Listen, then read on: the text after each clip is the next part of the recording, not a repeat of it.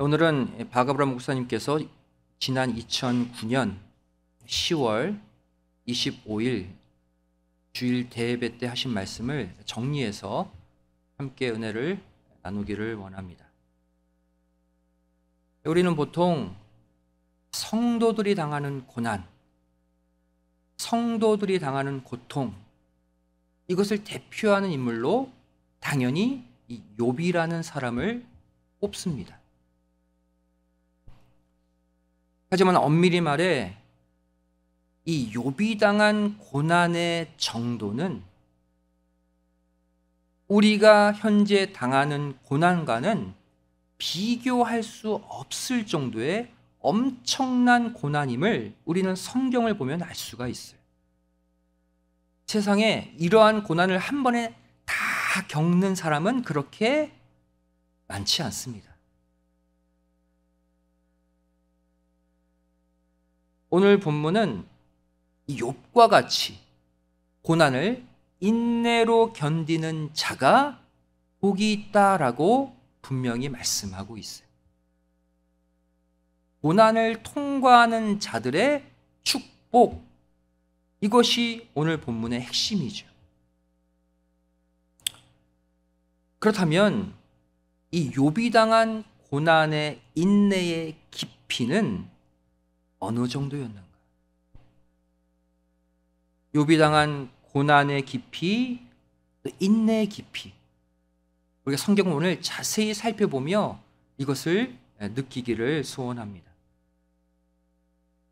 먼저 이 욥이 당한 고난은 오늘날 이 땅의 모든 성도들이 당하는 고난의 영역과 고난의 범위를 고스란히 보여주고 있습니다. 욥이 당한 고난은 총 세 가지죠. 첫 번째, 가장 먼저 재물의 고난을 당했죠. 동방의 가장 큰 부자였던 욥이 한순간에 모든 재산을 잃어버렸어요. 재물의 고난. 두 번째 따라온 고난이 뭐예요? 자녀의 고난이죠. 칠남 삼녀라는 많은 자녀를 두었는데 이 자녀들이 한 날 한시에 사고로 다 죽습니다. 가장 극악한 자녀의 고난이죠. 또 이어지는 고난, 건강의 고난을 또 받았습니다. 이번에는 몸에 악창이 생겨서 기왓장으로 팍팍 긁어도 시원치 않아요. 피가 나고 진물이 줄줄 흐르는 건강의 고난. 이 재물의 고난, 자녀의 고난, 건강의 고난. 바로 오늘날 성도들이 겪고 있는 대표적인 고난들 아닙니까? 욥은 이것을 한 번에 다 겪었어요. 그 최고의 고통으로. 성경은 욥이 겪은 고난과 아픔을 아주 세밀하게 묘사하고 있습니다. 먼저 성경은 밤마다 뼈가 쑤시는 고통과 아픔이 쉬지 않았다. 라는 욥의 고백을 기록하고 있어요. 욥기 30장 17절 말씀 보시면 밤이 되면 내 뼈가 쑤시니 나의 몸에 아픔이 쉬지 아니하는구나. 건강의 고난이 어느 정도인지 아시겠죠? 밤이 되면 뼈가 쑤셔. 아픔이 쉬지 않아요. 얼마나 고통스럽습니까? 또 피부와 살 가죽이 메말라 붙어서 뼈만 앙상하게 남았다라고 성경은 기록하고 있어요. 욥기 19장 20절 말씀 보시면 내 피부와 살이 뼈에 붙었고 남은 것은 겨우 이꺼풀 뿐이로구나. 거의 못 먹었나 보죠. 그죠? 일찍 말랐다는 거예요. 또 욥은 이렇게 말합니다. 너무나 고통스러워서 침도 삼킬 수 없는 지경이었다. 욥기 7장 19절 말씀 보시면 주께서 내게서 눈을 돌이키지 아니하시며 나의 침 삼킬 동안도 나를 놓지 아니하시기를 어느 때까지 하시리까? 침도 삼킬 수 없을 정도로 기력이 쇠했다는 거예요. 또 밤에 잠을 못 자고 새벽까지 이리 뒤척 저리 뒤척했다. 욥기 7장 4절 말씀 보시면 내가 누울 때면 말하기를 언제나 일어날고 언제나 밤이 갈고 하며 새벽까지 이리 뒤척 저리 뒤척 하는구나. 욥이 거짓말 하는 게 아니잖아요. 무슨 뜻이에요? 밤새 잠을 못 잤다는 거예요. 새벽까지 뜬 눈으로 지샜다는 거예요. 여러분 이뿐만이 아닙니다.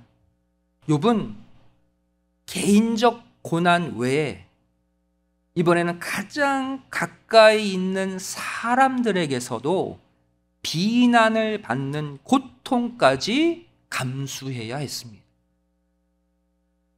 주변 사람들이 치근해 하는 것이 아니라 욕을 하는 거예요.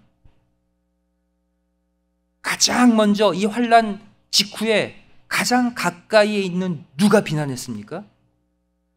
아내가. 가슴이 찢어지죠.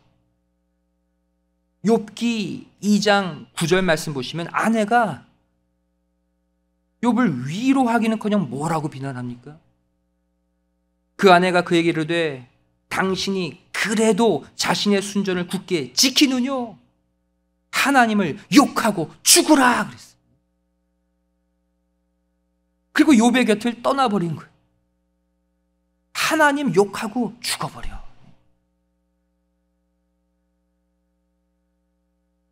이뿐만이 아닙니다. 이번에는 친구들까지 욥을 비난하죠. 욥의 가장 친한 새 친구마저도 처음에 욥을 위로하는 척 하면서 결국 비난했어요. 첫 번째 친구 엘리바스죠. 엘리바스는 욥을 이렇게 비난했습니다. 욥기 4장 7절 말씀 보시면 생각하여 보라. 죄 없이 망한 자가 누구인가? 정직한 자의 끊어짐이 어디 있는가? 요백이 뭐라고 말하는 거예요? 너는 지금 죄 때문에 망한 거야. 정죄하고 있어요.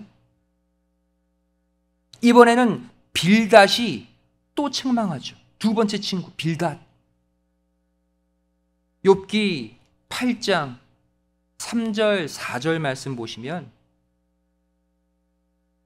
하나님이 어찌 심판을 굽게 하시겠으며 전능하신 이가 어찌 공의를 굽게 하시겠는가? 내 자녀들이 죽게 득죄하였으므로 주께서 그들을 그 죄에 붙이셨다 그랬어요. 이번에는 누구를 비난해요? 요배 자녀들. 슬픔에 잠긴 요백에 야, 네 자녀들이 죄 지었기 때문에 하나님이 그들을 죽이신 거야. 욥을 두 번 죽이고 있어요. 이번에는 욥의 또 다른 친구 소발이 책망하죠. 욥기 11장 4절부터 6절 말씀 보시면 아예 쐐기를 박습니다. 내 말이 내 돈은 정결하고 나는 주의 목전에 깨끗하다 하는구나. 하나님은 말씀을 내시며 너를 향하여 입을 여시고 지혜의 오묘로 내게 보이시기를 원하노니 이는 그의 지식이 광대하심이라 너는 알라. 하나님의 벌하심이 내 죄보다 경하니라. 가만히 보면 이들도 하나님 믿는 친구들이죠. 하나님의 공의로움을 얘기하면서 소발은 뭐라고 말합니까? 지금 네가 당한 것, 네 죄값보다 적게 받은 거예요. 가장 가까운 친구가 욥을 이렇게 비난했어요. 이뿐만이 아닙니다. 주변 사람들까지도 욥을 비난했어요. 욥기서를 보면 욥의 세 친구 외에 다른 사람들도 욥을 미워하고 희롱했다고 또 기록하고 있어요. 욥기 17장 6절 말씀 보시면 하나님이 나로 백성의 이야기거리가 되게 하시니 그들이 내 얼굴에 침을 뱉는구나. 주변 사람들도 침 뱉어 가면서 조롱하고 말, 말을 지어냈다는 거 욥에 대해서. 또 욥기 30장 10절에 그들은 나를 미워하여 멀리하고 내 얼굴에 침 뱉기를 주저하지 아니하나니 주변 사람들이 자신을 미워했다. 이런 경우 당하신 적 있어요? 이건 최악이 아닙니까? 가정 다 파탄나고 친구들도 욕하고 주변 사람 다 욕하고 누구도 내 편이 아닌 상황. 이 땅에서 당하는 사람이 당할 수 있는 최고의 고난을 지금 욥기가 보여주고 있는 거예요. 여기서 우리는 어떠한 교훈을 얻게 됩니까? 이 땅의 그 어떤 인간도 내가 당한 고통을, 고난을 이해하지도 못하고 위로하지도 못한다라는 진리를 꺼내주고 있어요. 가장 가까운 내 아내도, 내 가족도, 내 친구도, 주변 사람들도 내가 당하는 고난을 온전히 이해도 못하고 위로도 못 해줘요. 기대하지 말라는 거예요. 사람들. 시편 39편 7절 말씀 보시면 주여 내가 무엇을 바라리요 나의 소망은 죽게 있나이다. 여러분 우리의 평생의 고백이 시편 39편 7절이 되어야 할 줄로 믿습니다. 사람들 바라보지 마시고 나의 소망은 죽게만 있습니다. 이 고백으로 사세요. 하나님은 우리를 실망시키지 않으시는 유일한 분이시기 때문에. 또 이사야 2장 22절에 뭐라고 말씀하고 있습니까? 너희는 인생을 의지하지 말라. 그의 호흡은 코에 있나니 수에 칠 가치가 어디 있느뇨? 이 땅에 대단한 권세, 많은 재력 갖고 있는 사람 의지하지 말래요. 하등의 도움이 안 된대요. 여러분, 내가 고난받을 때, 고통받을 때, 힘들 때, 사람을 의지하면 더 시험 듭니다. 아예 사람, 주변 사람 기대하지 말고 의지하지 마세요. 그리고 하나님만 의지하고 하나님만 바라보면 그때 다시 일어날 줄로 믿습니다. 욥기는 이 분명한 진리를 우리에게 가르쳐 주고 있어요. 그 어떤 누구도 곤경에 처한 너의 편이 되어주는 사람은 없다.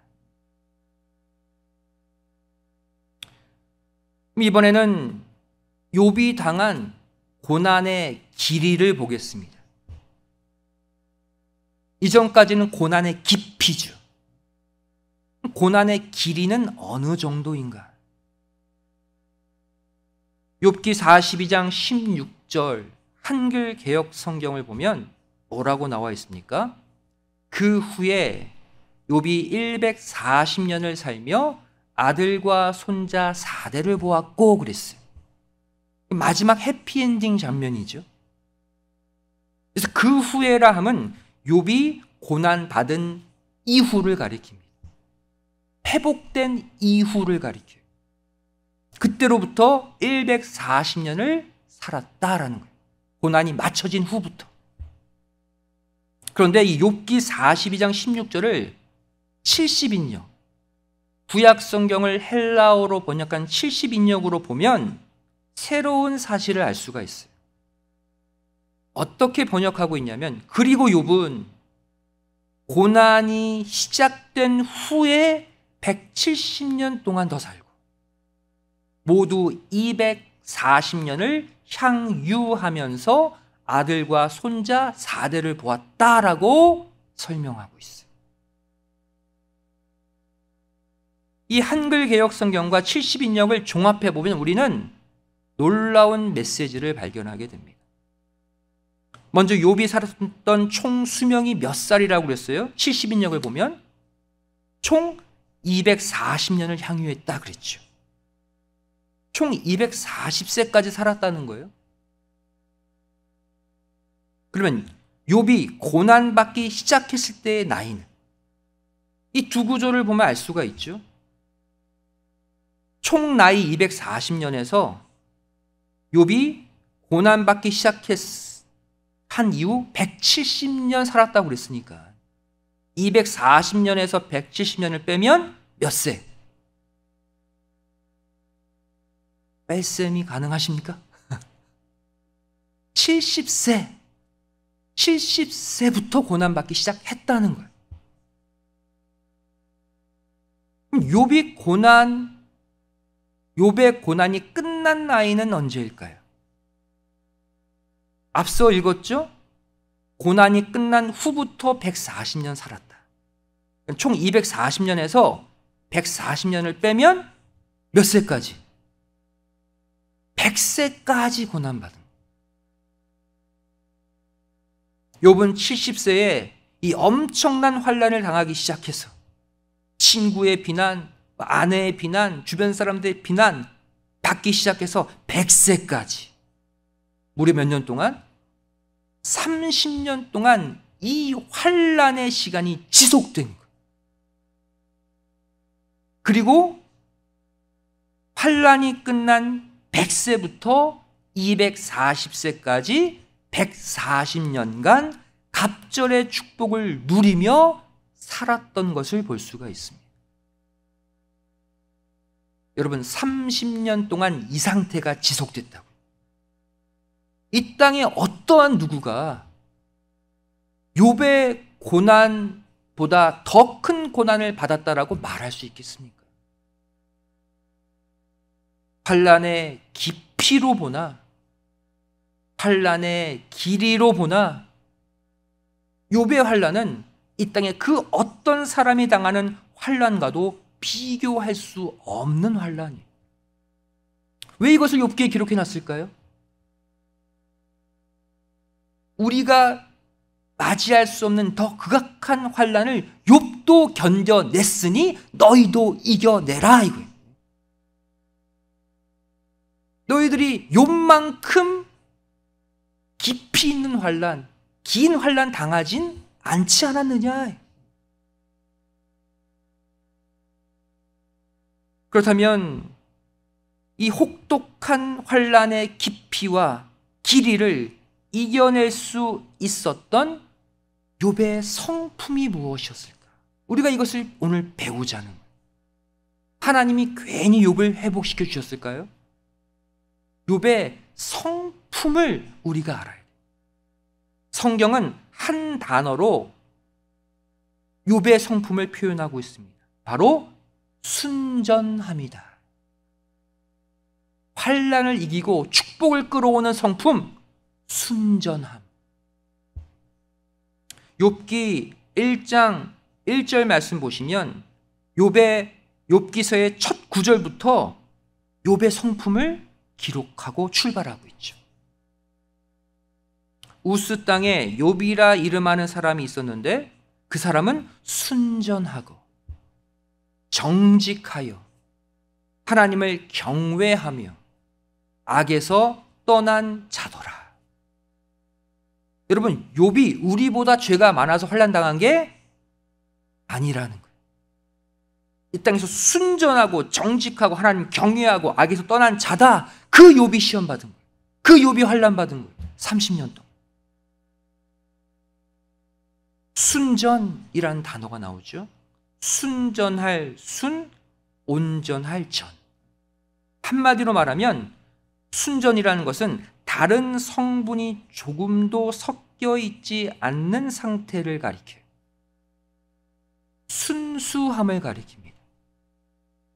다른 어떠한 잡 티, 불순물이 섞여져 있지 않는 상태.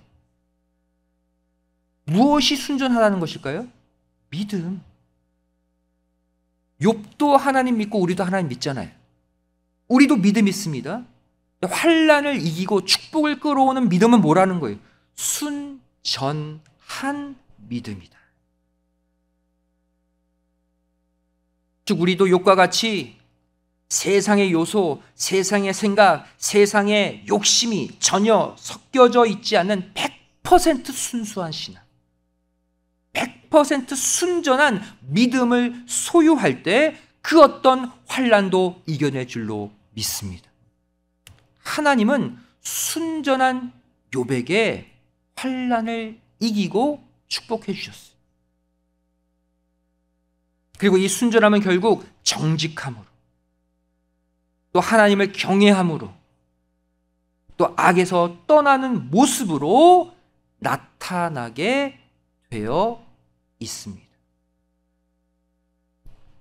성경을 보시면 욥의 이 성품을 계속 반복해서 보여주고 있어요. 하나님이 사단에게 욥을 자랑하셨죠. 사단에게 자랑할 정도의 하나님이 자랑할 정도의 욥의 신앙이었어요. 이 성품이 계속 반복됩니다. 욥기 1장 8절 말씀 보시면 여호와께서 사단에게 이르시되 내가 내 종 욥을 유의하여 보았느냐 그와 같이 순전하고 정직하여 하나님을 경외하며 악에서 떠난 자가 세상에 없느니라 최고의 믿음이래요. 욥이 아직 시험 받기 전이죠. 환란 당하기 전에 이미 하나님이 칭찬할 만한 성품, 믿음 갖고 있었다. 사단의 참소로 결국 시험을 욥이 당하게 되죠. 그 다음 욥기 2장 3절 말씀 보세요. 여호와께서 사단에게 이르시되 내가 내 종 욥을 유의하여 보았느냐 그와 같이 순전하고 정직하여 하나님을 경외하며 악에서 떠난 자가 세상에 없느니라 반복시키고 있죠. 그리고 네가 나를 격동하여 까닭 없이 그를 치게 하였어도 그가 오히려 자기의 순전을 굳게 지켰느니라. 계속 하나님이 강조하시는 욥의 성품 뭡니까? 순전. 극악한 환란에도 욥은 자기의 순전을 지켰다. 즉 정직, 경외, 악에서 떠남의 근본이 순전이라는 거예요. 순전한 믿음이 모든 다른 신앙의 덕목을 가져온다는 거예요. 이 말씀 보시면 우리가 죄악에서 완전히 떠나게 되는 원리를 알 수가 있습니다. 가장 먼저 무엇이 바탕이 되어 있어야 된다는 거예요? 순전함. 다른 게 아니에요. 하나님만 바라보는 신앙. 이 땅에 우리가 물질도 사용해야 되고 직장도 가야 되고 내가 이 땅에서도 뭔가 의지하는 것들이 있을 수 있죠. 하지만 하나님만 온전히 바라보는 신앙, 순전함, 이것은 정직을 가져다 줍니다. 하나님을 경외하게 만들어요. 그리고 결과적으로 악에서 완전히 떠나게 만듭니다. 계속 시험 환란을 통과하는 거예요. 잠언 16장 6절도 이것을 기록하고 있어요. 인자와 진리로 인하여 죄악이 속하게 되고 여호와를 경외함으로 인하여 악에서 떠나게 되느니라. 같은 과정이죠. 뒷부분만 기록하고 있어요. 여호와를 경외함으로 인하여 악에서 떠나게 되느니라. 이 앞에 순전함과 정직함이 생략되어 있는 것이죠. 악에서 떠나게 되는 그 시작이 뭐라고요? 하나님만 바라보는 순전. 여러분, 이 믿음이 우리의 믿음이 되어야 할 줄로 믿습니다. 세상에 묻혀 살면 죄에 덮여져요. 환란 이길 수 없어요. 어떠한 상황, 어떠한 환경에서도 하나님만 바라보는 영적 민감성이 살아 있어야 돼. 그러면 환란 극복합니다. 불가능한 환란 없어요. 불가능한 장애물 없어요. 무엇만 하면 돼요? 시작이 뭐만 돼요? 하나님만 바라보는 순전함. 반드시 환란, 반드시 고통 다 통과할 수 있어요. 결국 이렇게 순전한 자가 환란을 당하게 되면 어떠한 반응을 보이게 됩니까? 순전은 뭐라고 그랬어요? 하나님만 바라봄이라고 그랬죠. 하나님께만 포커스가 가 있는 가운데 환란을 당하게 되면 반응도 달라요. 욥기 1장 20절 말씀 보세요. 그 엄청난 환란을 당했는데 욥이 본능적으로 한 행동이 바로 뭐예요? 욥이 일어나 겉옷을 찢고 머리털을 밀고 땅에 엎드려 경배했다. 여러분 순전함으로 하나님만 바라보면 어떠한 환란이 와도 이런 행동이 가능해요.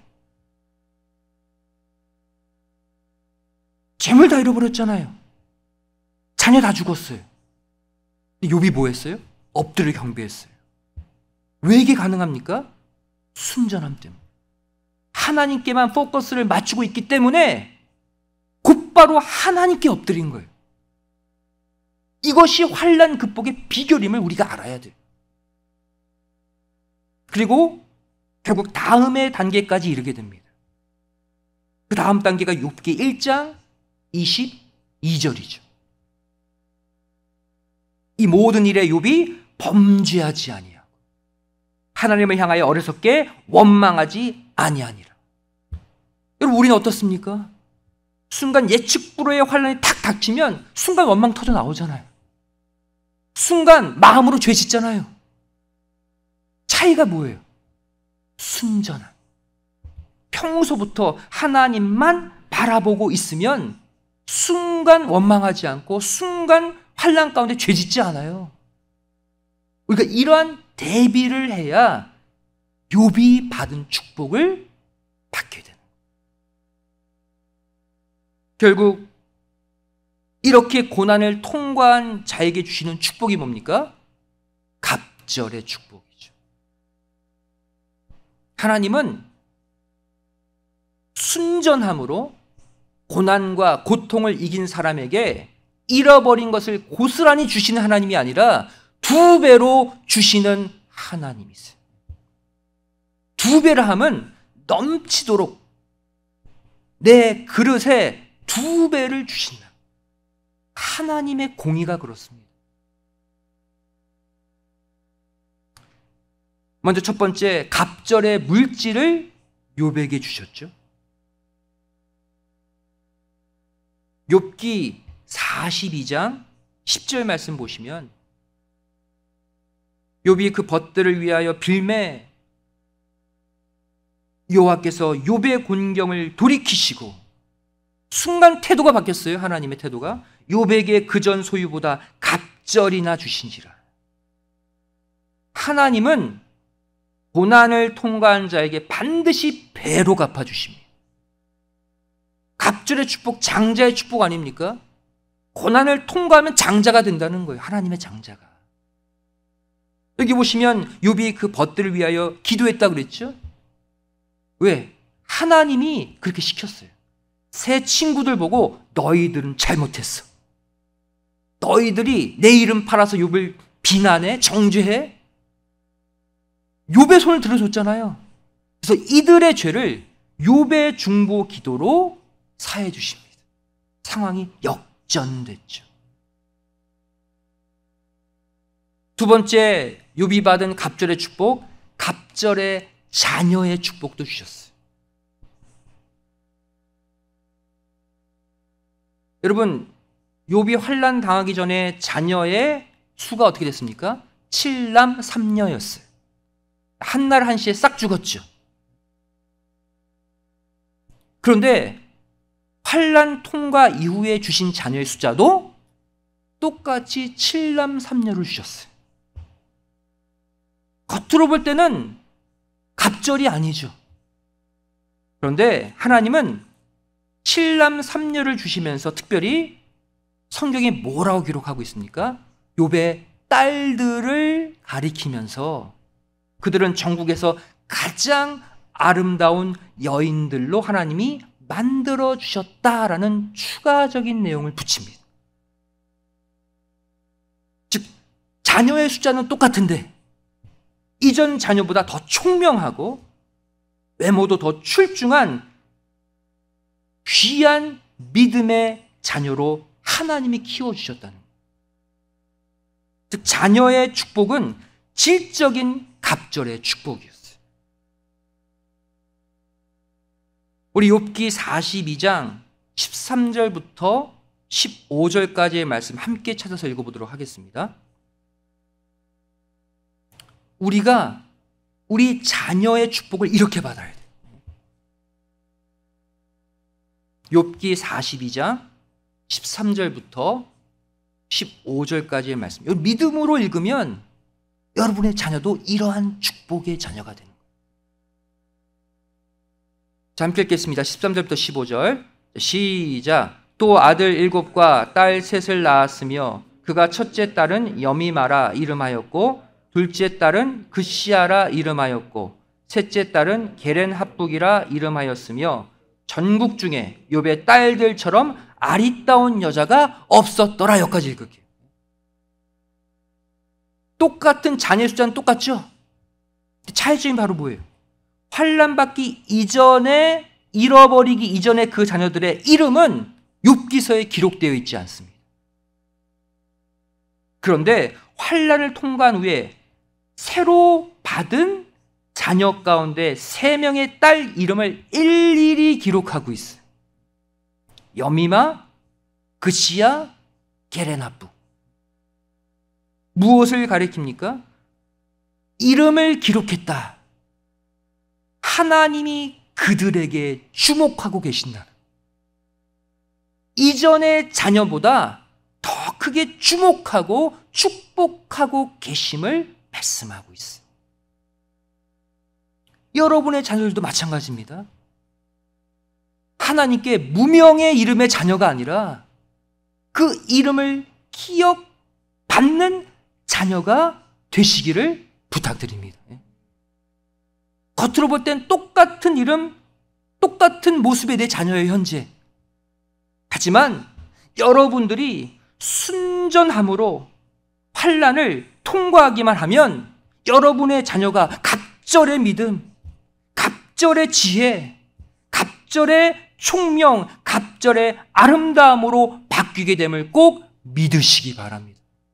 키는 누가 갖고 있어요? 여러분이 갖고 있는 거예요. 제가 갖고 있는 거예요. 순전함만 지키세요. 세상 일이 바빠도 하나님만 바라보세요. 하나님께만 초점을 맞추며 사세요. 환란을 당해도 엎드려 경배하시고 하나님 찬송하세요. 감사하세요. 그럼 여러분의 자녀가 갑절로 회복되는 자녀가 될 줄로 믿습니다. 반드시 그런 역사 일어나는 거예요. 세 번째, 욥이 받은 갑절의 축복, 갑절의 건강의 축복도 받았어요. 앞서 말씀드렸죠. 욥이 고난 받을 때 나이가 70세라고 그랬어요. 70세의 그 극악한 고난을 받았습니다. 욥이 고난 받은 이후에 산 연수는 몇 년이라고 했어요? 140년 더 살았어요. 고난 후에 140년. 즉 갑절의 축복을 받은 후에 140년 더 살았어요. 실제로 욥은 환란을 받을 때의 나이보다 환란 이후에 갑절의 축복을 누리며 산 기간이 두 배예요. 맞죠?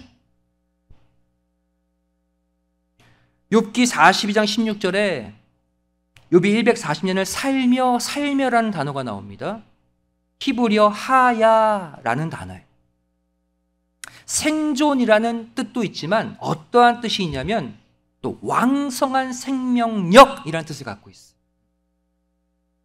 다시 말해 욥은 극심한 환란을 30년이나 견디고 통과한 이후부터 이제 갑절의 축복을 누리며 140년을 더 살았는데 건강도 어떻게 됐다.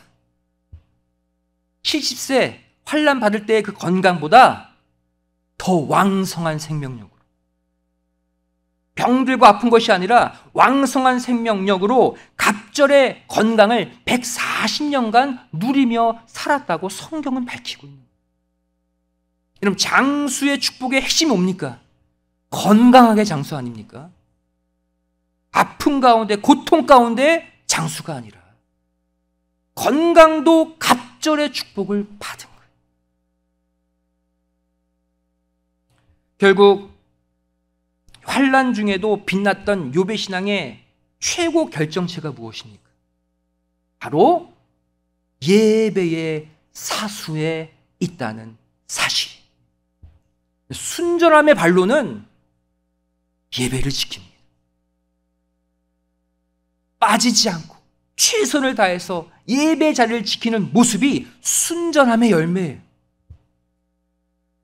보통 우리 성도들 어떻습니까? 환란 당하고 어려움 당하면 가장 먼저 나타나는 게 바로 예배부터 빠져요.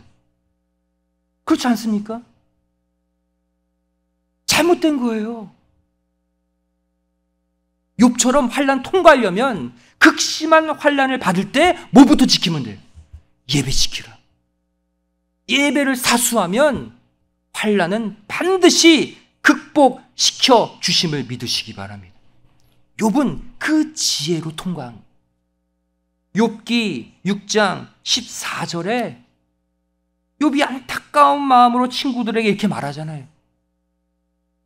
욥기 6장 14절에 뭐라고 욥이 간절히 말합니까? 피곤한 자, 곧 전능 자, 경외하는 일을 패한 자를 그 벗이 불쌍히 여길 것이오늘 그랬어요. 너희들 다 욕해도 괜찮아. 뭐 내가 죄가 많고 내 자녀가 죄가 많고 그래서 당했다? 욕해도 괜찮은데 제발 나 물질 잃어버린 것, 자녀를 잃어버린 것, 건강 잃어버린 것 이런 거 불쌍히 여기지 말고 내가 이 극심한 환란 가운데 온전히 예배 드리지 못하는 상황 하나만큼은 불쌍히 여겨달라 그랬어요.